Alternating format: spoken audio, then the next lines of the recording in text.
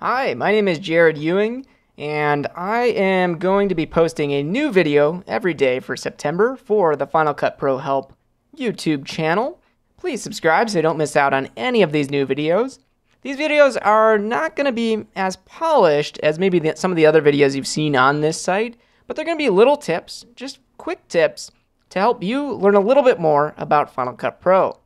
In today's tip, the first one of this series, I'm going to show you something very simple, which is just how to purchase and install Final Cut Pro 10 on your computer.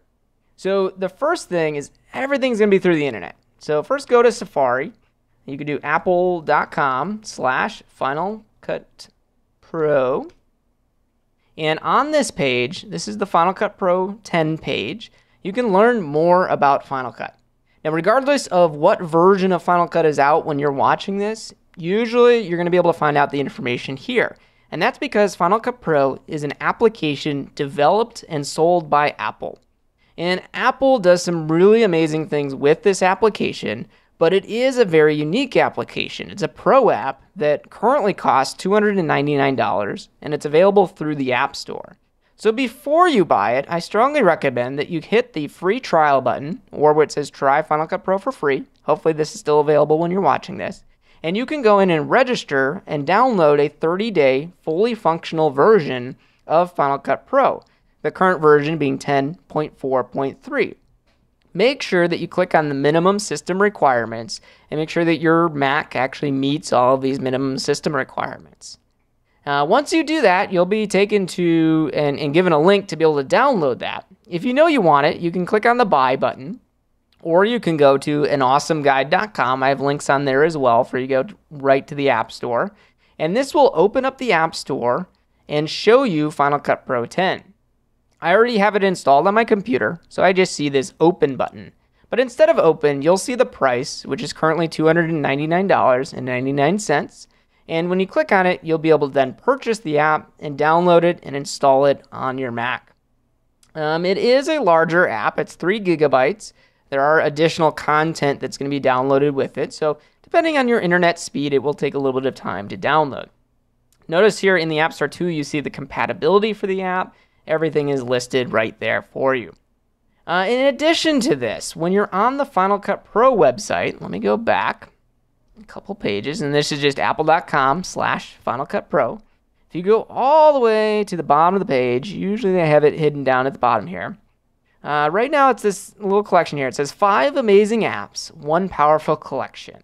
So this is specifically for your students out there because you can get a bundle of Final Cut Pro, Motion, Compressor, Logic, which is the audio editing application, and MainStage these applications are uh, essential. If you're going to really get into this video editing stuff, you might just use Final Cut Pro for a while, but you're going to extend it out, and using these other apps is going to be very, very useful. And notice the price tag is wonderful. It's $199 for all five of these apps, whereas Final Cut on its own is 299.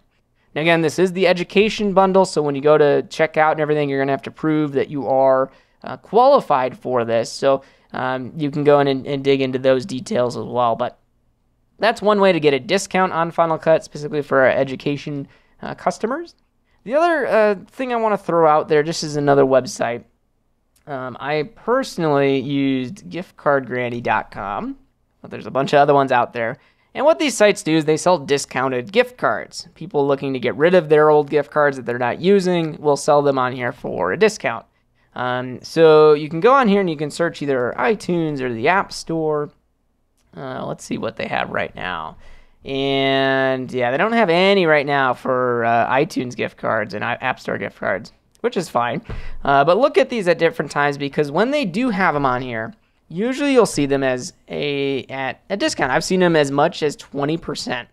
And you might be wondering why I'm saying this. Well, the iTunes and App Store gift cards, those cards can be used to credit your account, which you're going to then use to purchase Final Cut Pro. So if you get gift cards, even if they're 5 or 10% discounted gift cards, if you get a whole bunch of those, you can then purchase Final Cut Pro at that 5 or 10% discount through the gift card. So it's a, a way to kind of get a discount, even though Apple's not necessarily directly offering that. That's a way to get some discounts on on these products here. Uh, again, you want to make sure that they're iTunes and App Store gift cards, not Apple Store gift cards. Apple Store gift cards are for the physical store; those are not for the App Store.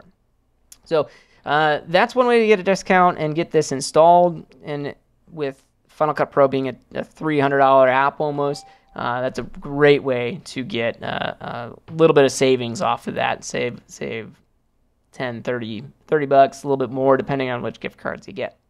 Um, after you do that, that's all you have to do. It's going to download and install on your computer, and you'll find it in the Launchpad. Just click Launchpad. You'll see all your different apps that are on here. Look for Final Cut, click it, and it's going to open up.